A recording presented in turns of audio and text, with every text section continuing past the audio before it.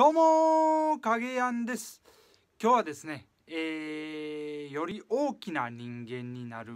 えー、ことを目指すとだから大きな人間を目指すっていうことについてお話しさせていただきたいと思います。えー、僕はですねこうやれること自分ができることっていうのをいろいろとこう増やしていってですねよりこう大きくに人間が大きくなるというか、まあ、大きなエネルギー体になるというか、えー、そういうふうになる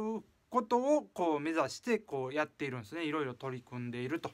いうことですね。えー、まあ、分かりやすくというかこういう表現でちょっと伝わるかわからないんですけどもこう大きな円柱をこう円柱ですね。円柱を作る感じですね。円柱を作っていく感じを目指しているということですね。だから、えー、最初は何か一つ取り組むとですねそれが点となってね下の点点が出来上がりますよね。こう点が出来上がります。で点をその点一つのことをこうより深めていくとそれが線になってこう一つの線になるんですよね。これがそのその人の人間のそのできることというかエネルギーの量とするじゃないですか。でこれをねの下のできることをやることを取り組んでいくとその点がこう一つ増やしますよね。で増えて一個は深めていってほんで一つ点になってるんでその人はこう三角の形になるんですよね三角の形。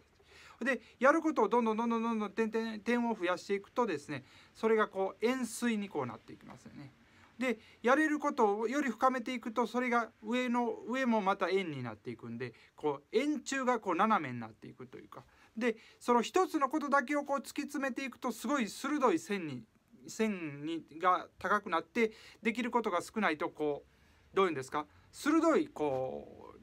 こう尖った形になるんですけどもそうじゃなくてですねこうできることを増やしていきながらですねそれがまたよりそれも深めていくっていう形でこの円円柱というんですかその形がでかいものになっていくというかそういうイメージですねそういうふうにこうしていけたらなと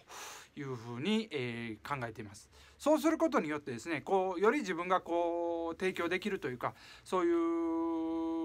ねえ情報にしても何にしてもこう提供できることも増やすことができますし、え自分自身がより大きくなることによってですねそこに価値が生まれたりしていくと思うんで、えまあ、それだけじゃなくてですね自分のそのエネルギーみたいなものをこう大きくしていくっていうこともありますしでそういうことをこうやっていくということですね。でそうしていって大きくしていってより良いものにしていって、え次の世代にバトンタッチすると